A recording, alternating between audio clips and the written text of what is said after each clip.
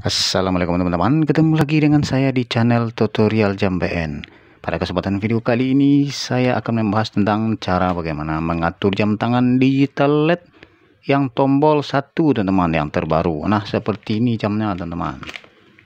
Nah ini baru datang nih teman-teman ya. Nah bagaimanakah cara pengaturannya? Nah mari teman-teman tonton video saya sampai selesai Biar teman-teman mengerti dan paham Ah, tapi sebelumnya seperti biasa, jangan lupa di subscribe, like, komen, dan di share biar setiap video yang terbaru dari saya, teman-teman bisa langsung menyaksikannya. Baiklah, tidak pakai lama, kita lanjut.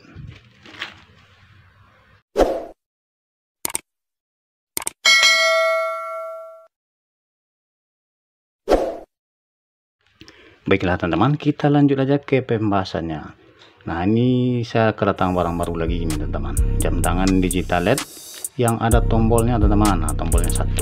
Nah, ini tombolnya teman. Nah, kita buka aja teman-teman ya. Kita cek gimana modelnya bentuknya dan cara pengaturannya. Nah ini barangnya teman-teman. Mantap teman-teman. Model baru. Nah ini tombolnya. Nah ini aja kita atur teman yang hitam ini ya.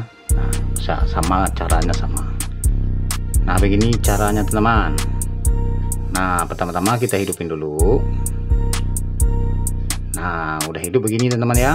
Nah ini detiknya ini yang kedip-kedip itu. Nah ini nah ini ada tulisan PM berarti malam teman-teman. Kalau nggak ada tulisan PM di sini berarti siang. Nah begitu teman-teman ya. Nah ini kita hidupin.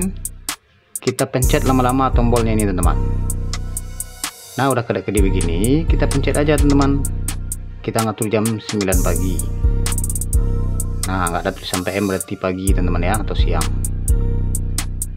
7 8 9 nah udah ada angka 9 kita pencet lagi lama teman-teman.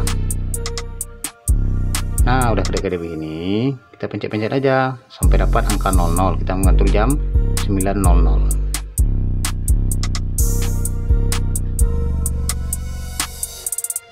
nah udah dapat angka 00 kita pencet lagi lama teman-teman. Kita ngatur tahunnya lagi teman-teman. Ini tahun ini teman-teman ya. Nah pencet terus. Sampai dapat angka 21 nah udah dapat angka 21 pencet lagi lama teman-teman.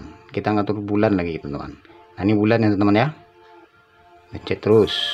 Sampai dapat bulan 12 sekarang bulan 12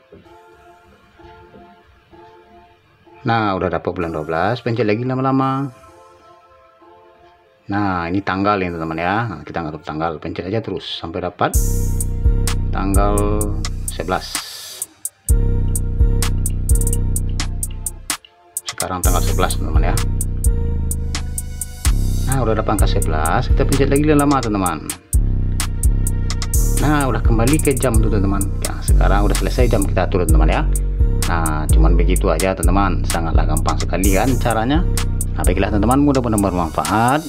Nah, sekian dulu dari saya dan sampai ketemu lagi di video berikutnya. Assalamualaikum